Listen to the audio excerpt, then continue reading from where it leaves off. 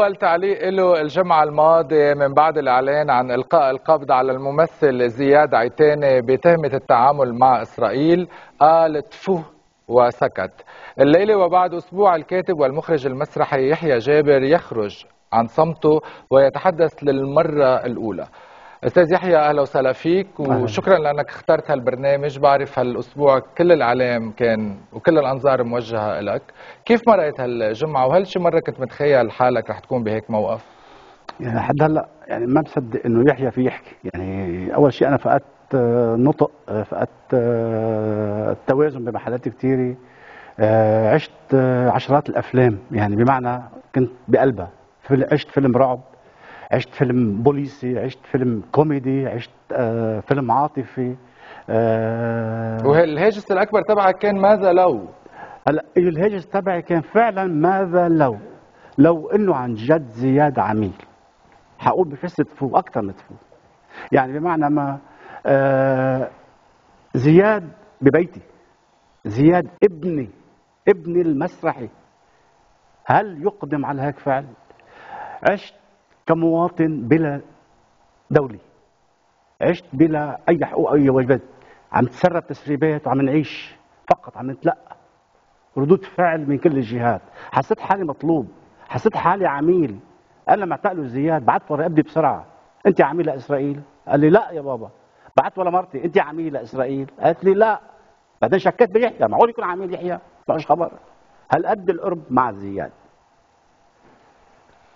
كنت بتتوقع إنه بهيك يعني أمام هيك حدث حدا أنت وعائلة زياد يجيبكم قبل ما تتسرب القصة بالاعلام يقول لكم يا جماعة في هيك شيء تحضروا.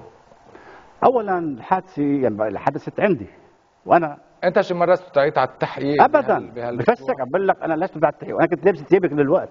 نعم. أنت تم الاعتقال ببيتك أنت تم الاعتقال على الطريقة التاليه كان في عندنا تمرين الساعة 2:30 الصبح نهار الخميس. انتهى التمرين الساعة 12 وربع نزل هو وجمال عبد الكريم الموسيقي اللي عم يحضر مسرحيه افتتاحها كان بسبع الشهر اللي كان اسمها جنو نطو ونزل زياد هو وياه وصاب سيارته بكراج بنيتي. بتلفل لي جمال عبد الكريم بيقول لي اعتقلوا زياد؟ مين اعتقل زياد؟ نزلت قال لي أمن الدولة. وشو خبرك عن يعني عملية الاعتقال؟ عملية الاعتقال تمت بكثير من الأناقة بكثير من الترتيب بكثير من الذوق حسب ما عرفت. آه، زياد كان بهاللحظة فعلا مرعوب يعني حسب ما روى لي آه، اسمه إنه تمسك بالعمود إنه شو فيه؟ شو بدكم؟ تمسك بشو؟ تمسك بالعمود. أنا شخصيا أنا مثل أنا في شيء غلط. قالوا نحن أمن الدولة تفضل معنا. نعم. فهو انصرف. القصة ببساطة إنه كمان الصبح قبل ما نجتمع قال لي زياد في اثنين سألوا عني امبارح ببيتي بفرن الشباك. أقول لك مين بيكونوا هول؟ قلت له ما بعرف. لك مصاري على الناس آه عامل شيء ضرب عاطفي بمحل عم نمزح كهرباء قال لي لا. قال لي بس حسيت فعلا سأل دكان جو حطوا صورتي. قال لي بدي اتصل قلت له اتصل بمحمد. نعم. صديقنا محمد بركات. قبل ما نحكي بنشوف التقرير السريع عن من هو زياد عيتاني. زياد عيتاني من مواليد العام 1975 ترك الدراسة قبل بلوغه المرحلة الجامعية. عمل في عدة وظائف صغيرة في مجال التسويق والمبيعات بين لبنان والإمارات قبل أن يستقر في بيروت عام 2005 ويعمل منسقا إعلاميا لدى الوزير السابق عبد الرحيم مراد والعميد مصطفى حمدان. بعدها عمل زياد في صحيفة الأخبار وقناة الميادين الفضائية حيث عرف بقربه من أجواء مقاهي الحمراء ومثقفيها. في العام 2012 تعرف عيتاني صدفة في معرض الكتاب إلى الشاعر والكاتب يحيى جابر الذي كان بصدد التحضير لمشروع مسرحي. اشتم جابر في زياد رائحة جده الأديب والممثل والحكواتي محمد شامل وخاله الممثل يوسف شامل وزوج خالته الفنان شوشو. فقدمه في توليفة مسرحية هي من نوع المونولوج وال stand-up comedy. بتصير على شاشة وحدة وتلفزيون واحد ولحن واحد. صنعت هذه التوليفة من زياد نجما مسرحيا بين ليلة وضحاها. كما جعلت الثنائي جابر عيتاني رقما صعبا في مسرح بيروت الجديد. قدم جابر زياد عيتاني في ثلاث مسرحيات. بيروت طريق الجديدة عام 2013 بيروت فوق الشجرة 2015 بيروت بيت بيوت 2016 استضفنا زياد عتاني بعد واحدة من هذه المسرحيات.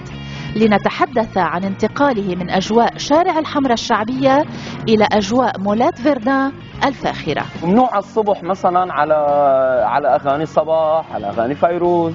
وعادي وبيرجعوا يمارسوا طقوسهم الدينية والمحافظة بنفس الوقت. من المسرح انتقل إلى التلفزيون. حيث انضم إلى فريق برنامج بي بي شي الساخر على شاشة ال بي سي آي من دون أن يلقى القبول لدى الجمهور التلفزيوني العريض. ترافق ذلك مع تكثيف حضوره على ال social media حيث قدم نفسه ناشطا سياسيا وصاحب رأي في السياسة والحياة الاجتماعية. تعال هذا أنت. لك يعني بس بايام الشباب. يخزي العين عنك حبيبي إيه. شو بدك؟ المنطقة كلها عرفتها. الله. طبعا. العيتان يعني.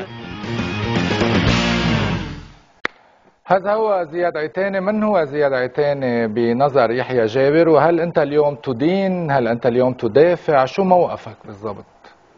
اولا برجع بأكد إنه زياد عتاني هو ابن المسرح اللي ولد آه، بن دي ولد من افكار ولد آه، وانتجناه إلى هذه المدينة اللي بحبها اسمها بيروت. أنا بصراحة يعني تدرجت. أول شيء أنا أصب بصدمة إنه يطلع زياد عتاني عميل لإسرائيل خاصة إنه أنا بعتبر إسرائيل بتاريخي. عدو مش قومي عدو شخصي. لقيم ومعايير بالنسبة لإسرائيل هي دولة دينية طائفية عنصرية عدوانية محتلة.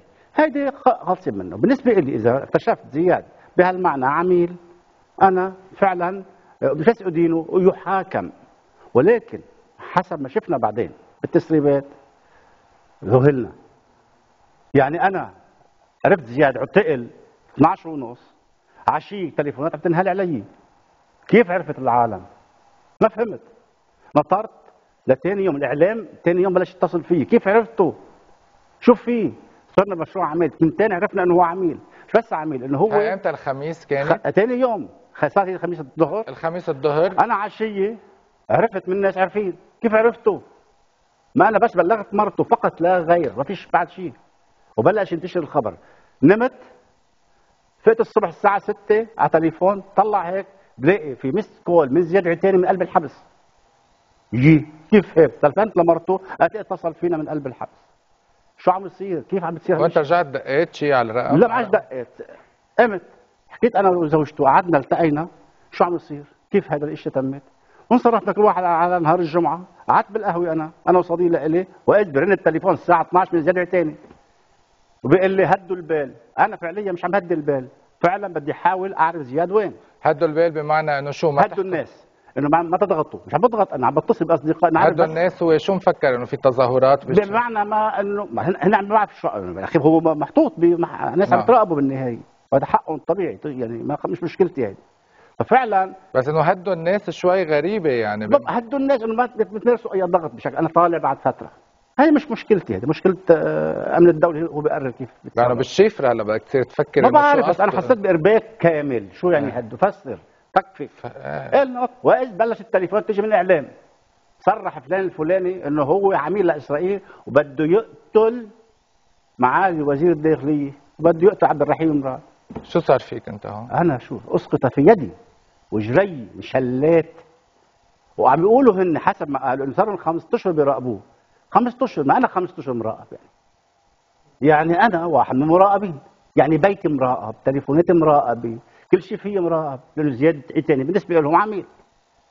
شو عمل فيه زياد عتاني ساعتها هون؟ شلني شل. وبلش يطلع اسم المدعوه فلان الفلانيه أنا سكت ما حكيت ولا كلمة. طرت تقرير أمن الدولة عشية. طلع التقرير أعلنت هالجملة اللي بتقول إنه تفو على العميل وسكتنا وشفنا النتائج بعدين بلش الإعلام. وحسب تقرير أمن الدولة عم يقولوا هن ينفوا هالكلام إنه بده يقتل بلشنا أول شيء قتل واغتيالات وبلش إنه هو عميل بعدين تخابر بعدين صار تهامس بعدين صار silent عمالي طيب شو بنعمل نحن؟ مين بيحمينا؟ مين بيحميني أنا؟ أنا تخيلت حالي مدام كوليت يمكن عرفني عليها. يعرفني عليها زياد. شكل من الأشكال. وجيت تنتج لي مسرحية أو اعمل لها فيلم وثائقي documentary وروح أنا وياه على الضاحية الجنوبية وتعطيني مصاري وروح على تركيا وأنت بتعزمني على السوشي و... و... هي ك- وأمن الدولة عم يراقبني. كان جي أو وأنا ان جي أوز وكذا وتفوتني ع... فوتوني على الحبس. وبدي سنتين أطلع براءه مين بيحميني؟ أي تلفزيون. إعلام استشرف بشكل لا يصدق. إعلام افترس شخص اسمه زياد عتيني إعلام أكله. كان يحلم بنجم صار كوكب. طلعت هيك جرائد إسبانية تركية زياد صار عالمي. شو قصة؟ قصة طلعت قال يمكن هو آه، cyber sex. شو يعني؟ عبورته موتته أخذته. بسيطة. ماشي يحاكم عليها؟ ويأكل قتل ويتعامل من دعوته نحن كمان. بس هذا ابني. هذا حبيبي وعيوني. بس حاكموه وبعداله وارحموه يا إعلام. إذا طلع مش صحيح هذا الحكي كله ما يسمى الاغتيال وغيره. على كل تلفزيون وعلى كل مطبوعة وعلى كل واحد يعتذر إذا عنده شرف. شرف الإعلامي اولا. ونحن أنا فعلا بشكر أمن الدولة من هون بكل صدق. إذا كان اوقف زياد دي حماقة وأنا مصر على كلمة حماقة ما إيه أنا بشكره لأنه كان ممكن يورطنا هو بخجله أو بخوفه أو بذعره. بعد على ال cyber sex شو في بلبنان مرعوبين الناس في شباب انتحروا خوفا. انه ينكشفوا بمعنى ما جنسيا. بس إذا صار في فعلا حسب ما تسرب أنا بحكي نعم. حسب ما تسرب بس أنت وكأنه يعني مختلف عن من يومين يعني من يومين كنت خايف أكثر إنه يكون في شيء جد اليوم حاسس بالراحة أكثر سأبقى مرعوبا. ولا أتنازل بس ولكن أنا ثقة بالقضاء والثقة بأمن الدولة. طب كل هالعمروجه كيف تفسرها؟ هو مثل مسرحيتنا. زياد راح ضحيه مسرح مثل مسرحيته اللي هي جنوطه بتحكي عن بنايه بدها توقع والإعلام في التلفزيون اسمه rating ما قال لحدا بده إياها توقع روس أصحابها ليطلع rating كل هذا الشيء اللي صار هل هو ضرب إلي عاملينه؟ شيء، أنا هل هو ضرب أنت عامله جزء من اختبار لمسرحيتك؟ أنا معقولات لا لا ضرب يعني. عاملين ضرب فينا إنه ليكوا الاعلام شو بيعمل؟ طالما هذا موضوع مسرحيتك. شو بعمل بالسكري أنا والضغط وال- والأمراض كله مشان مسرحية. كل مسرحية شغلة مهمة. مسرح فن تعمالي يا ذيلي. نعم. طب شو الاحتمالات؟ شو معقول يكون صار مع زياد؟ والله صرت مبصر عم مبصر هلأ. أنا ما صرت بمرحلة حسبس ولكن سأدافع بشراس من هلأ ورايح. عن حق العدالة بدي العدالة لزياد. وبوضوح. لا توري ولا شيء. ويحاكم.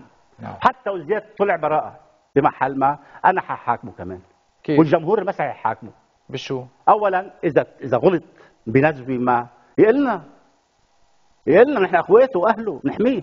بمعنى أنا بسلمه لل- للدولة ويطلع بطل قومي ويعمل عمل مزدوج بلدنا تستحق. بس هو آخر فترة كان مغير شوي عليك يعني من زياد اللي بتعرفه. يعني فجأة زياد أنا بعرفه بتذاكى زياد بيستهبل. زياد بفكر حاله ذكي. زياد في يلعب هيك وهيك. عشي بسيط. زياد فقير. مشحر ابن طبقة فقيرة. بيسعى للقمة تعيشه بكرامة. عم بحكي بجدية كان حسب ما بعرف أنا. سيارته ما سيارة بعدها فكفك وبعدها تحت البناية بالسيارة. ما حدا أخذها. طب عم نسمع إنه هيدا كان يدفع له 2000 دولار بالشهر وعمل أنجح مسرحية ببيروت بهالسنتين يعني أكيد كمان عم بيطلع مصاري من المسرح عامل 600 تبعه. عرض مسرحي. يعني أول شيء وزياد يعني أساسا يعني قد إيه معقول يكون مطلع من من مسرحية؟ ما بينوش. ما بدي شاف شيء يعني, معلم يعني في شيء 250 ألف دولار؟ ما بعرف مش مش قاعدين على يعني لا لا يعني احسبهم. ماليا انت أول- انت بتعرف قد إيه بتدفع له على العرض إيه؟ وعاملين كم عرض؟ يعني تقريبا فيك عاملين 500 600 عرض بالنهاية. قد إيه قد إيه بياخذ على العرض؟ هذا لا هذا شيء بسر المهنة. شيء ما فيش طب شيء حاجة بس. أنت لما بس تحكي عنه عايش- أنت؟ لما تحكي عنه فقير. إنه هل هو بحاجة مالية؟ إيه، هل- عمل عمال لسبب مالي؟ إيه يعني أنا عم شوف إنه في مصاري يعني عامل هو شو هالعمال ب 500 دولار؟ يعني, يعني- يعني هيدا بصير يعني مش بس. إنه هو مش مرتاح ماليا من بعد ما له عمله علاقه المال ما حدا بيخون بلده بخرمال آه، مبلغ. شو ما كان مبلغ وزياد ما عنده هالإشارات. زياد فهلوي ابن الحتة بلعب من هون غلط غلطة واضحة يمكن ما وغلطة واضحة لحد هلأ حسب ما تسرب. عم نحكي تسريبات إنه في شيء جنسي. في شيء هيك محل وتم ابتزاز فيه. بس يعني هو لك كل عمره- تعامل الف... راجع كل. بس هو كل عمره محسوب كمان 8 اذار يعني. لازم هو يكون عنده موقف زياد كان 8 آذار وما صارش 14 آذار وهلأ 8 و14 ماشي حاله وكل العالم يعني مش كلنا وعم عم يتقرب لا، وكلنا خولنا بعضنا وعم. يتقرب من كل السياسيين يعني كمان إنه عم يطرح يمكن هو عم. يتقرب من السياسي ما في يعني حتى ما أحاكم عليه حق المواطن يعمل حركته السياسيه نعم هذا أول شيء اثنين بس هو كان طارح نفسه أكثر من ممثل طارح نفسه إنه هو هذا جزء من مشكلتي معه. كانت هيك بس هو فعليا يعني ناشط ليقوي مسرحه تحت الخرافي بمعنى يجيب ضمان من هون حدا يرعى من هون حدا يدفع له حق إعلام من هون يضمن مسرحية فلان الفلاني. حابب يكون بهالمحل. وأنا بالنسبة لي كنت. خطه وهذا. حقه بس أنا خطه بمحل ما. بس صار يزيدها يعني. ما رح أحطه بالشبهة. أنا للأمانة حتى بحط بهذا بضميري. أنا بالنسبة لي أثق قلت لك بأمن الدولة وأثق بالقضاء. لحد العائل عائلته عتبانة عليك يعني من بعد لتفوه وشو اليوم بتقول لها شو الرسالة؟ ما فيش لا عتب ولا من يحزن حق يقول تفو وهن حق يقولوا تفو كمان هن حق يقولوا تفو أكثر مني طلع عميل. اللي هي عائله وطنية. وكلنا وطنيين. عائلة العيتاني ولا عائلة بيروت وأهل بيروت. مش مزحة. اليوم شو بتقول لبيت العيتاني وشو بتقول لزياد؟ وشو بتقول لجمهور مسرحك؟ اللي وثق فيك ووثق بزياد بسببك. أنا بدي أقول بكل بساطة أتمنى البراءة لزياد. أول شيء. وإذا كان مرتكب جرم فليحاكم. وإذا كان جرمه كبير فليعدم فليشنق. سموه ما شئت بس أعطوه فرصة أعطوه محامي يدافع عن نفسه. نعرف بس الحقيقة. أما عائلته بحب عائلته كثير أما زوجته بحب مرته كثير زياد الساعة 8 ونص الصبح بفيق 6 ونص بيوصل بنته على المدرسة وبيجي لعندي على شو. وضع مرته اليوم؟ يعني أكيد منهارين كلنا مثل بعضنا. كلنا ضايعين. ما عارفينه عميل ولا بريء مش عارفين شيء نحن عم نتبع تلفزيونات قلنا من هو زياد عتاني. وهذا بيناتنا. وشو موضوع المخدرات ببيته؟ يعني كمان يطلع بيان إنه مخدرات كلمة بعتقد يعني فضفاضة يعني بالنهاية. ما بعرف. ما في أقول شيء هل هي سيجارة. نفره حشيشة. شو بعرفنا؟ حبة. بس مخدرات. وغرفته كلها هو عنده غرفة. يعني مش بحاجة لتسطيل زياد وحده اثنين ليروج ولا مرة كانت علامات الثراء عليه. أنا مش جاي دافع عن زياد انه إيش- إذا كان عميل ولا لا. أنا عم أقول بكل بساطة قولوا لنا الحقيقة يا خيي طمنونا بس هذا ابننا مش حتخلى عنه كمان بهالبساطة يعني. نعم. وتحت سقف القانون. وأنت عم تفكر ما بعد آه، زياد عيتاني بمسرحك؟ يعني إذا هلأ بكرة طلع. أنا عم بتمرن يوميا على بترجع بتطلع. أنا أول شيء عم بتمرن على ثلاث مسرحيات كنت منهم زياد وكان الافتتاح بسبعة الشهر. وهذا مسرح مسرحيات بتمرن مع ناتالي نعوم مسرحية ومع أنجو ريحان. وماشي بشغلي بحدنا. بس أنا مسعوق مخدوع سمي مشيت بس آه، كمان مضروب بمحل ما. مش مضروب بصدقيتي أنا جمهور المسرحي. أنت. مضروب بنجمك. بنجم صنعته أو لحد. هلأ مش أنا حد أقول ناطر. هلأ في يقول ببساطة ناطر. مثل كل هالناس. وبعتقد بهيك أجواء. يعني يعني بالمولد النبوي الشريف وعيد الميلاد شهر تسامح والناس كلها عم تتسامح من بعضها وعم تعفي عن بعضها. هلأ السياسيين والمسقف وال- وجو بلد قايم على مصالحات. بعد زيادة عتيبي بحق له محاكمه عادله بس إذا عميل. إذا عميل يحاكم كعميل ونوعية عمالته بدنا نعرف شو نوعية عمالته يا خيي يمكن نعرف قديش هي حجمها قديش طولها وأنا مستعد إذا حتى طلعوا. براءة. أنا مستعد وقف 45 ألف متفرج اللي شافوه يضربوه كف وهو طالع وقفهم بالصف. بترجع تشتغل معه؟ إذا طلع يعني في شبهة تعامل ما بدي أقول عماله أو تواصل؟ ليك أنا يعني بالنسبة طلع في حتى موضوع أقول إذا طلع موضوع cyber sex وهو انفات وبي حأضربه وبزق عليه وقول له فوت تعاقبه مثل بعاقب ابني. أنت كنت تحاول تحرق البيت. بشيطنتك بهبلك بتزاكيك يا غبي يا أحمق يا هبله عم بتركز على أحمق لما ناخده جديا إنه ممكن يكون عم يتعامل مع إسرائيل. أنا بحكي بالأخير فنان أو بسمي مثقف أنا هالمرة عم بحكي أحاسيس. احاسيسي بتقول لي زياد غبي توعدي. اثنين عقلي بيقول لي أعطيني شي عقلين يا خيي بلشت في عم يغتال وزراء. انتهينا بتهامس. ومخدرات يعني ما بعرف شو مثلوا لنا. نعم. بس ما التسرب يعني بالأخير يعني ومنيح اللي أمن الدولي قال إنه نحن مش مسؤولين عن اللي قالوا الإعلام. قال هالشيء ووضح. نعم. يحيى جابر شكرا لك. بعد الفاصل موقف عائلة زياد مع النائب السابق محمد الأمين العيتان.